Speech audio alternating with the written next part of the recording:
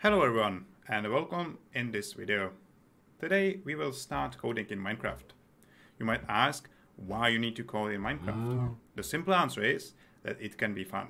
You can build huge buildings. You can survive in survival world with help of your agent.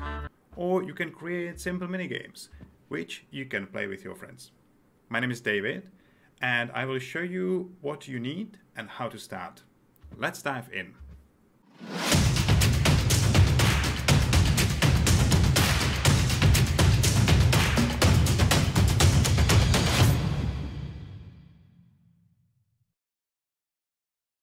Alright, we will start simple today.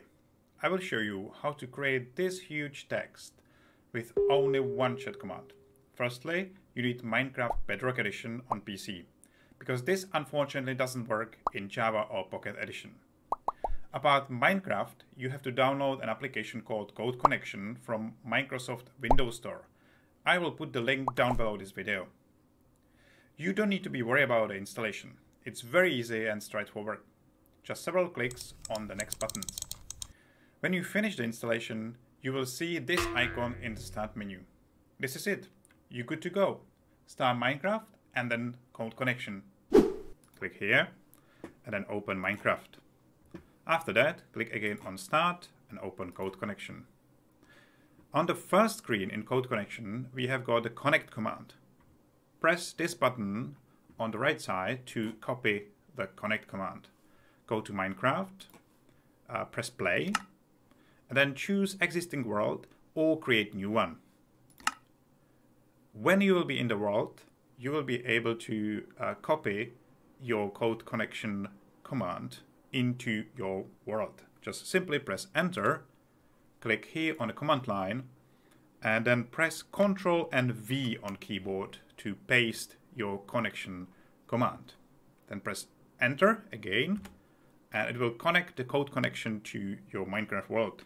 Switch over to code connection, and the second screen will show you the choices of editors. I always suggest to use the MakeCode because the simplest one and also most integrated with Minecraft. Uh, on the first screen, uh, we have got two main things. It's the new project button, which we will use in a second. And also you've got bunch of tutorials and some examples of code. It's good to explore because you will see what is possible in uh, Minecraft with the coding environment. When you have everything connected, you get a guest in your Minecraft world. Special mob called Agent. This is him. Cute, isn't he? Let's get started with our coding. First of all, click on New Project. Type some name in there. Let's say print text it'll do and create. In this new window, you will see two main parts. The left column is library of commands, which you can use in your Minecraft. And the big gray area is basically the space where you build your code. In here we have got, most importantly, place this play button, the green button, which will start the code in your Minecraft. So don't forget to press this button if you want to test your code. Uh, let's get started with some coding. Uh, we have got uh, blocks and there we'll find a print because we want to print something. So we'll drag and drop his here. Now it's good to note we have got two types of block in Minecraft. Uh, the first one is command block. This basically will do some actions in your Minecraft world. And you will recognize this block easily because it has got dent on the top. The second type of block is this event block. It doesn't have any dent and everything what is inside here will be triggered by this event. So if I want to print something in my Minecraft, I just click this inside uh, this block. We've got print hello, so they will print the text inside here in, in this place. So I will type something in, um, let's say my name. Uh, then we have got off second line, which will tell us what blocks I will use uh, for the printing.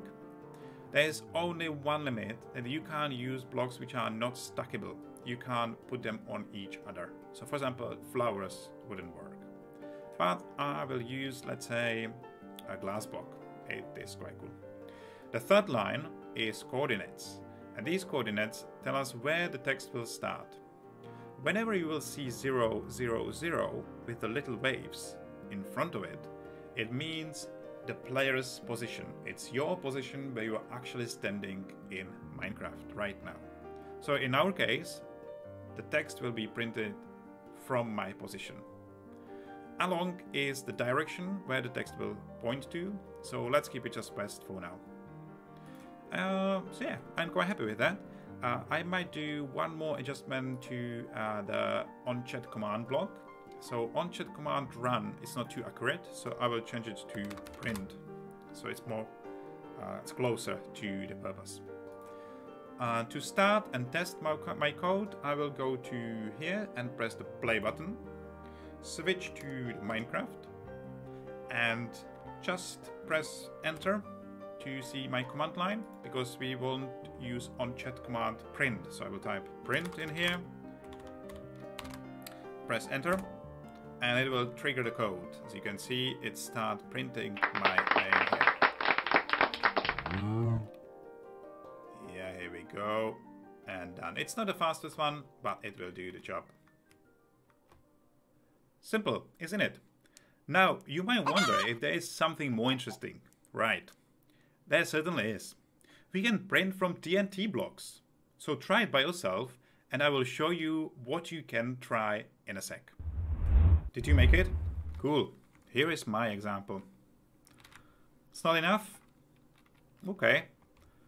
How about that? Can you figure out how to call that? If not, here is hint. Check it out. And now you know what to do.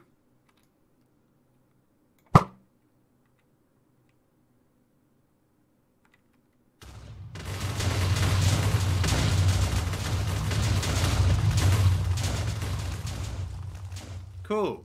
This is it for now. But it doesn't mean you need to stop. Play around, discover something else, and share your experiments in the comments. I will see you in the next video.